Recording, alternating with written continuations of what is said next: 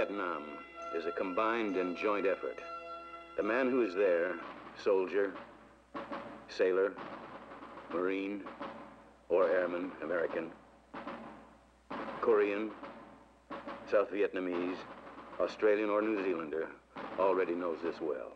The unit assembled in formation here, somewhere in Vietnam, is representative of all. I have a letter addressed to all personnel of this command from the commanding general. During our tour in the Republic of Vietnam, we have all seen what communism can do to a struggling nation in our world community. It is therefore most important that we conduct our affairs with the people of the Republic of Vietnam in a manner that will show the Vietnamese citizen that we are his friends and that we are here to assist him in the improvement as well as the security of his country. It is then with great pride that I note the fine work done by the soldiers of this command during the recent operation. It is with pleasure that I say, a job well done. These men have just emerged from many long days of combat during which they faced and fought the Viet Cong. Drove him from areas which he had heretofore controlled. Opened roads for travel which he had dominated, and thereby contributed substantially to the turning of the tide in Vietnam. Yet it is not for their military accomplishments alone, important though they are, that they are commended by their commander. It is for other activities, more subtle, less easy to grasp and define, yet every bit as indispensable to the final decision in the war that is being fought in Vietnam today. A war unique in the long history of armed conflict between men and nations.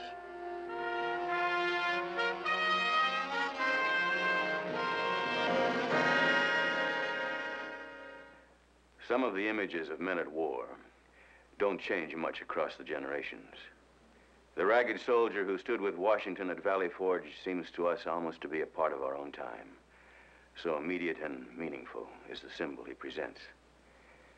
The tragic figures of the men in blue and gray who fought the Civil War that decided our course as a nation are not just misty historical shapes.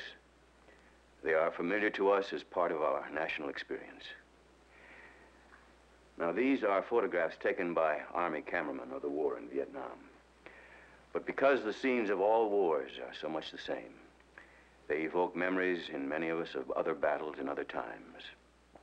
There are men who can look at this picture and remember with a sharp tug that dissolves the years what it was like in those brief lulls between the battles of two decades ago. And others will think of Korea and the blistering summer heat of that war.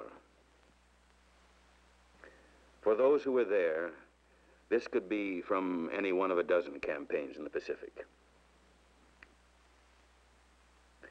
Here's a shot of men and tanks moving out together to close with the enemy. And here's one of the warriors searching for spiritual strength. Images of men in combat which could be as much a part of the recent past as the present. But for all the similarities, there are differences too. Some of these are physical. Many of the techniques of war, for instance, change as technology advances. In Vietnam, the helicopter dramatizes that technological revolution. The fighting men there employ this machine to defeat problems of distance and terrain in a way that would have seemed incredible to the men who had to storm the murderous mountains of Korea. And probably no serviceman who has had to fight through Vietnam's monsoons will ever believe there was anything like it in any other war at any time. But most of all, to the men who are there, the distinctively urgent facts about Vietnam are the kind of war the enemy is fighting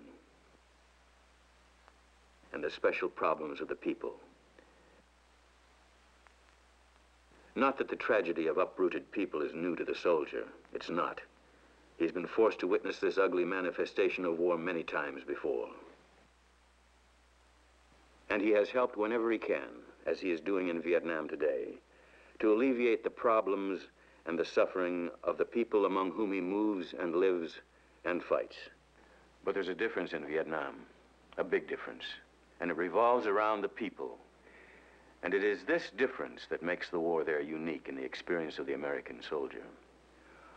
Although this story we bring you today is basically a story of the soldier in Vietnam, It is broader than that. It is the story of all our servicemen defending against aggression in that far-off land. And more, it is the story of the special task which all of them have, of helping to build a nation at the grassroots level, among the people, in the villages. This is the battleground in Vietnam, the varied and changing face of the land.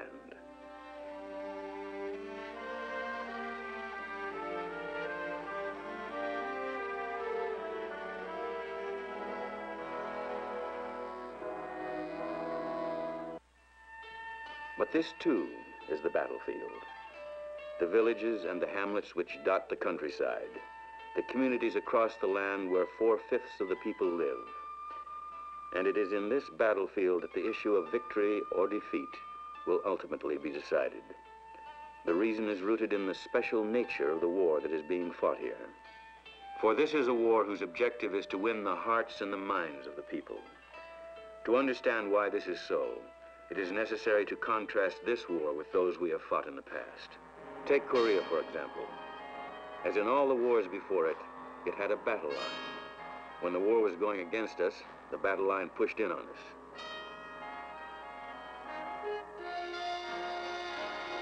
But when we were on the offensive, the movement of the battle line described the progress of our victory.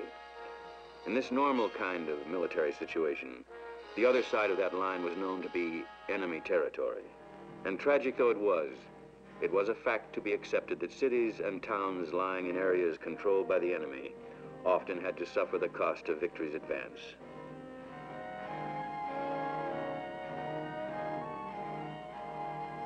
But the war in Vietnam is different. Although our forces do engage in conventional combat with well-organized North Vietnamese military units who support the Viet Cong guerrillas, the enemy is active over most of the countryside and rarely is there a conventional battle line. The job of the fighting men here is to search the enemy out wherever he hides, however he travels and supplies his forces, to seek him along all the avenues through which he infiltrates the Republic of Vietnam, carrying the weapons of his aggression.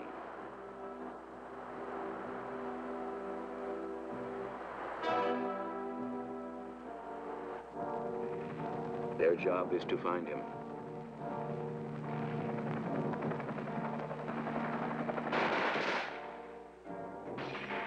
And then destroy him. But because the enemy over here is fighting basically an unconventional war, he does not rely on holding terrain, but more importantly, the people. The foundation of unconventional war rests on the need for their support. In this kind of struggle, whoever has the people wins the war. So it becomes the task of our troops to deny the enemy the popular support he has to have in order to survive. More than that, our troops must enlist that popular support behind their own effort and behind the government of the Republic of Vietnam.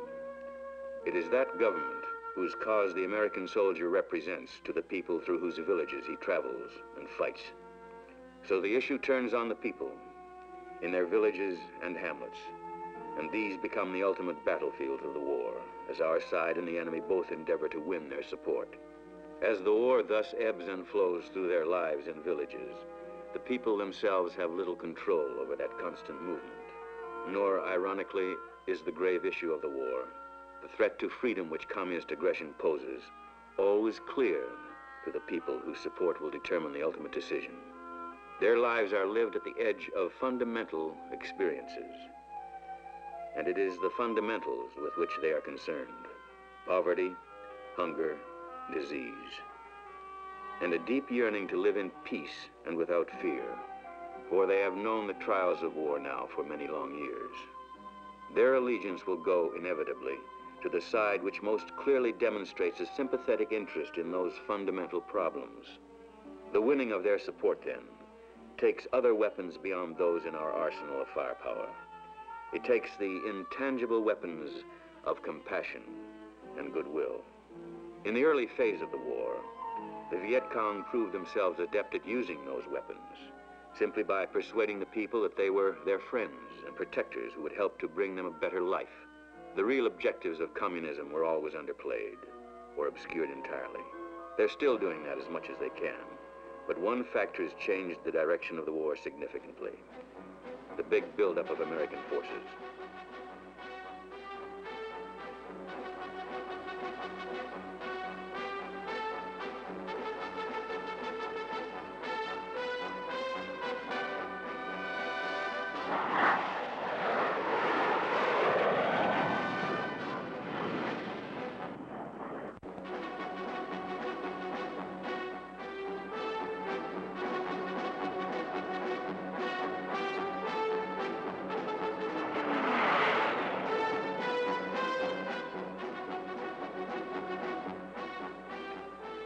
With the buildup, the Viet Cong's hold on the countryside started to loosen.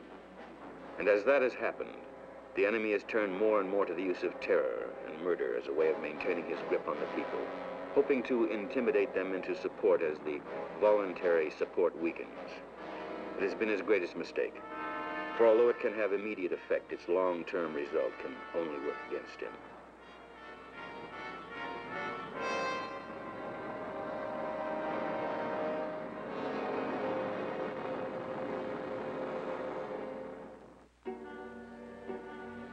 Enemy's mistakes, of course, work to our advantage. But there is an obvious and urgent lesson, never to duplicate those mistakes. Not to be sure that there is any danger of our forces ever using terrorism as a weapon. But the people in the villages might not always be able to distinguish the difference between the calculated cruelty of communist forces and fire which rains on them and their families from an American rifle or an American plane. These special demands of this special war place a particular responsibility on every American in Vietnam. Commanders at all levels are obliged to consider the psychological as well as the military objectives of each operation. And because the circumstances call for an exercise of restraint beyond that normally required on a battlefield, they must strike a balance between the force essential to accomplish their mission and the necessity of inflicting as few casualties as possible on the civilian population. Now, this does not mean that the rules of safety and security can ever be relaxed. Every commander must always be able to accomplish his mission with the least loss to his own troops and the fewest possible restrictions on his planning and his freedom to fire and maneuver. Nor does it mean that men going into battle should ever place their own lives or those of their buddies in jeopardy through excessive caution. Every man must take with him into combat the certain knowledge that he has the inherent right always to defend himself against hostile action wherever and whenever it occurs.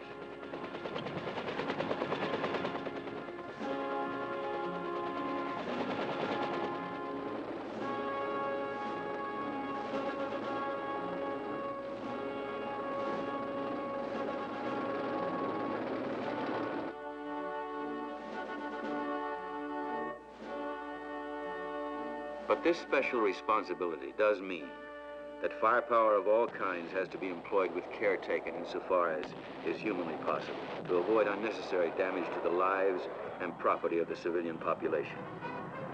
For the blunt truth is that death or injury to helpless civilians, even when it is unavoidable, works against us. This knowledge is simply one of the conditions of war which must be accepted.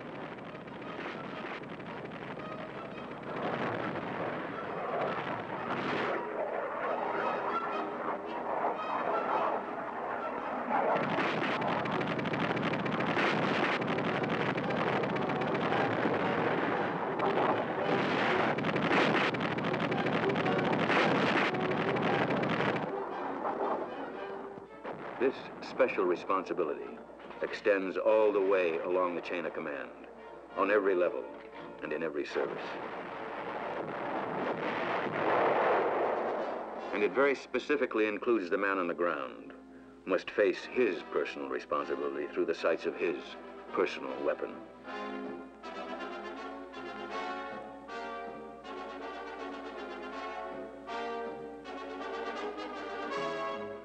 This man's job carries him into the very heart of this unique battlefield.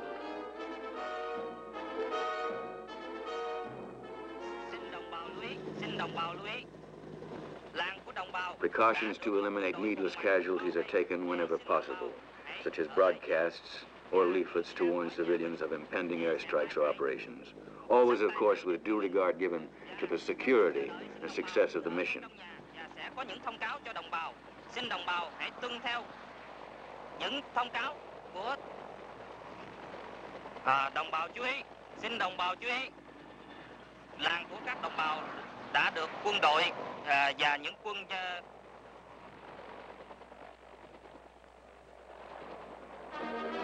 The villages have to be entered. They have to be searched and made safe. This remains an inescapable duty of war. But with careful plans made and executed, with every precaution taken that can be, within the bounds of safety, and with every man aware of his own increased responsibility, it is done with the least possible damage and danger.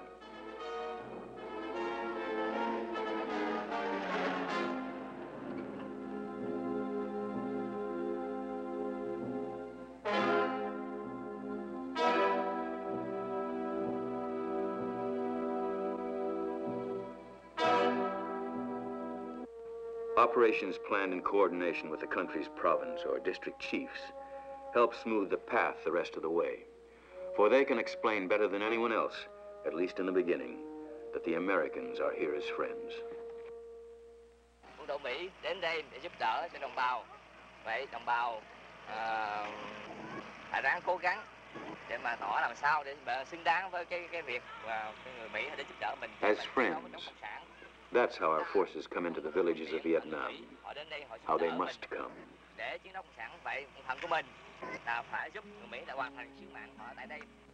Friendship is one of the most basic gifts a man can offer. It is built on the desire really to know people. The soldier has a special opportunity to try to understand what Vietnam and its people are like. Vietnam is an old country with a recorded history that goes back more than 2,000 years. Its traditions and its customs are ancient and deeply cherished.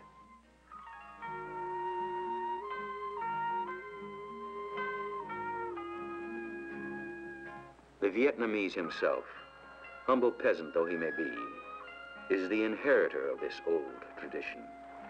And anyone who would claim his friendship must understand that about him. He looks on the world in a very set way, defined and shaped by a long tradition.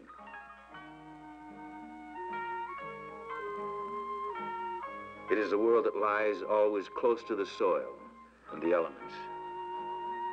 His village is more than his home. It is his universe, and he seldom, if ever, leaves it. The values which shape his code of behavior are his most precious possessions, and they are honored ones. Dignity, self-control, respect for elders. His family is all important to him, all his family, not only those immediately close to him, but distant relatives as well, those living, those dead, and those in generations yet to come. Regard for the family is at the center of his religion. The majority of villages in Vietnam are Buddhist. Many, like this one, are Catholic. Some are Protestant. Whichever it is, the place of worship in the village is the focal point of community life. Knowing these things about the Vietnamese people and understanding the importance they have in their lives help our troops to establish the friendship that is so crucial to their mission.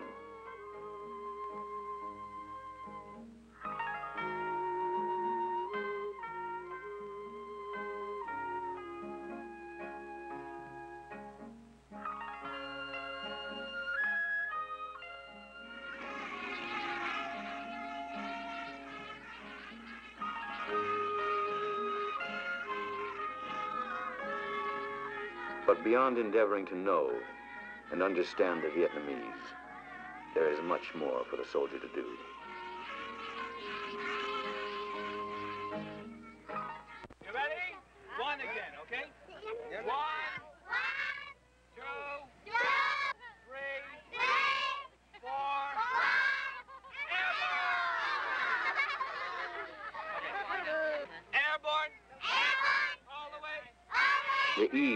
Which the American fighting man establishes rapport with the children in the lands through which he travels is an enduring part of his legend. There is no mystery about it, for the hungry language of childhood is universal. And men at war have known for generations that candy and chewing gum bring smiles and warm the hearts of children in any land.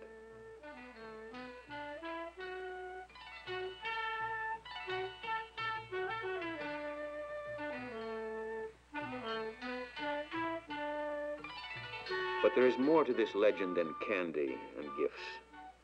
And every man knows it who has watched happiness brighten the eye of a child as the result of his own effort.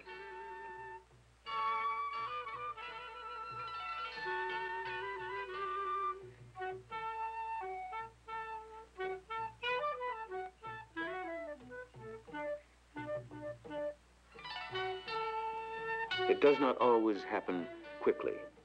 Even a child's friendship is sometimes slow to come. And how much more true this is of people who have known bitterly only the brutality of war and warriors, and who can escape only behind thick walls of silence and suspicion. Their friendship is not obtained easily, but with patience and effort, it can be won. A civic action plan supports every military operation, not because we believe that friendship has a price which we can pay with giveaways and handouts, but because we thus have the opportunity to show in a definite, tangible way that our interests really lie with the people and their problems.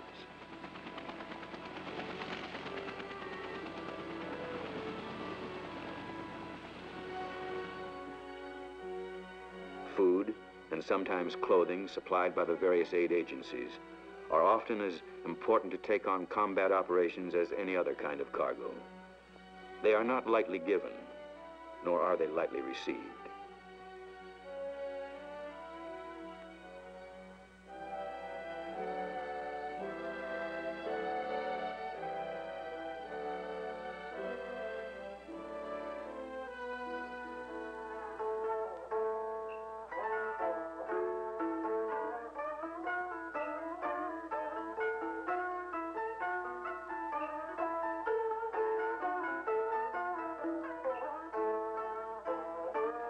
People who live always on the edge of want, whose days blend into a continuing challenge to wrest enough from the earth to still their children's hunger, such gifts are deeply important. And the gesture of giving becomes deeply meaningful.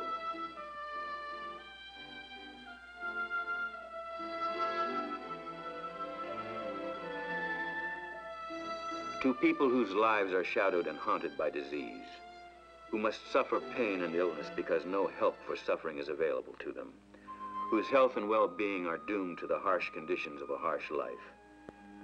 To such a people, the attentions of a military medical team are powerful symbols indeed of a desire for friendship.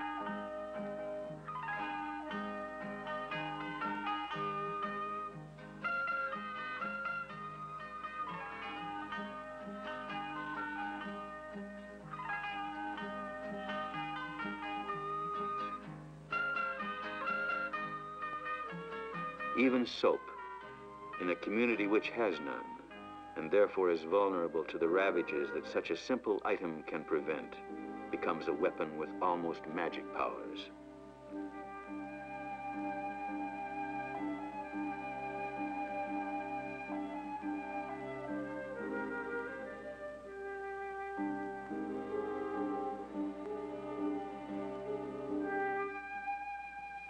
Every military unit has the capability of helping to improve a community in some way.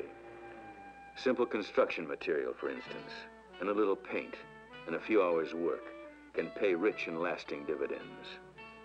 Particularly work done side by side with the people themselves. For the Vietnamese people are both proud and industrious. They welcome the assistance of our forces, and together they can accomplish much. A new roof for the community meeting center, a place for the children to go to school, a new face for the house of worship, a well, a bridge. These can work for us with wonderful effect.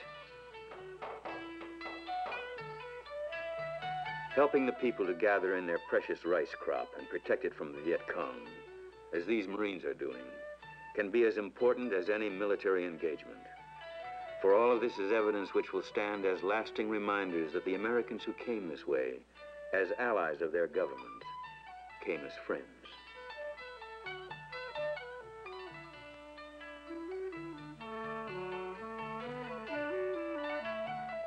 Establishing friendships in the villages of Vietnam can also produce tangible results. Intelligence information, for instance, which can save the lives of American troops.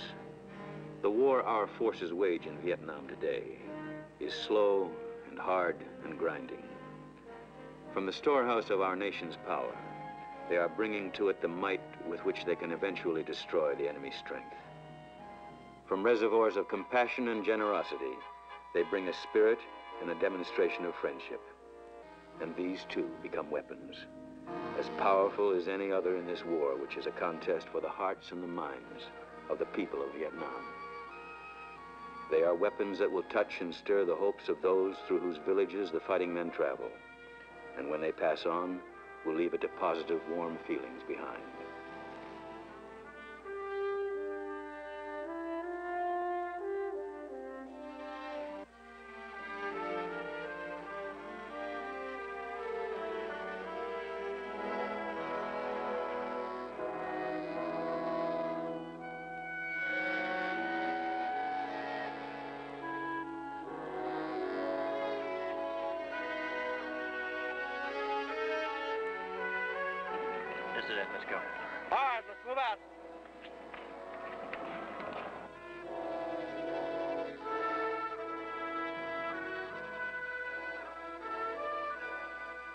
And so they move on.